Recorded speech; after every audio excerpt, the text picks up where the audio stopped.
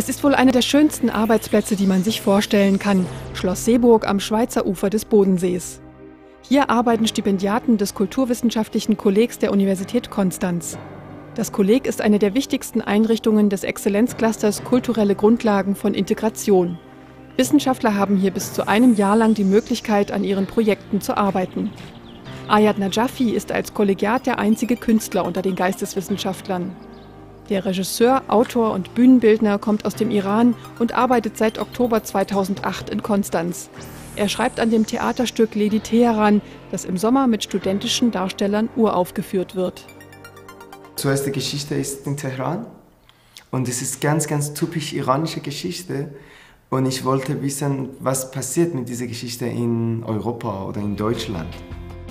Nur wenige Minuten von Schloss Seeburg entfernt ist Professor Philip Smith auf dem Weg zur Arbeit in die Konstanzer Bischofsvilla, dem zweiten Kollegstandort.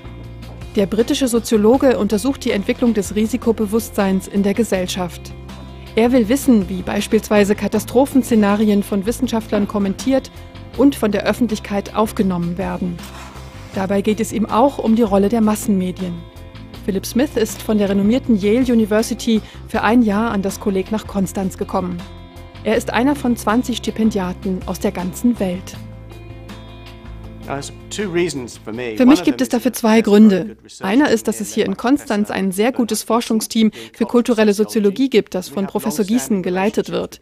Wir haben eine lange währende Verbindung zwischen dem Yale Center for Cultural Sociology und Professor Gießen. Der andere Grund ist, dass ich hier ein paar tausend Meilen von den USA entfernt bin, wo ich sonst arbeite. Und wenn ich weg bin, finde ich es gut, unerreichbar zu sein für Sitzungen und andere kleine Dinge, die viel Zeit kosten. Entfernung ist wirklich sehr wichtig. Außerdem kann Philip Smith mit Literaturwissenschaftlern, Philosophen, Politik- und Rechtswissenschaftlern zusammenarbeiten. Denn im Exzellenzcluster werden fachliche Barrieren überwunden.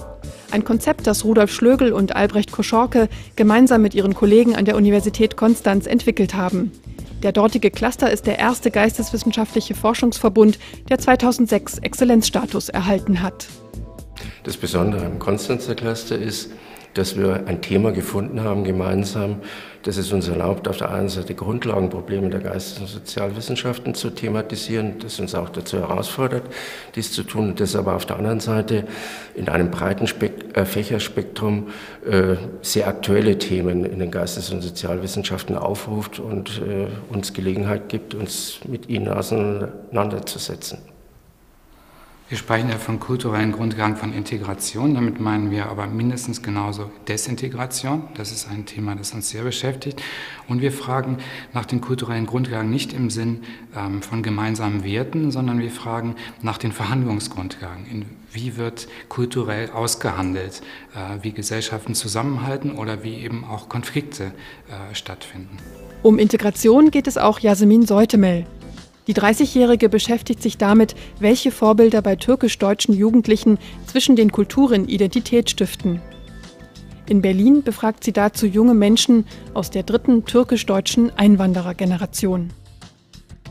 Wir möchten zunächst anhand der Vorbilder der deutsch-türkischen Jugendlichen ihre Muster der Grenzziehungen und Grenzüberschreitungen nachzeichnen, um möglicherweise zu verstehen, was ihnen wichtig ist.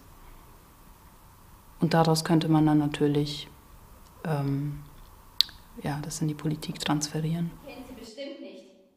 Politik spielt auch in Ayat Najafis Theaterstück Lady Teheran eine Rolle, das er mit Studenten probt. Es erzählt die Geschichte einer Schauspielerin in der iranischen Hauptstadt vor dem Zweiten Weltkrieg.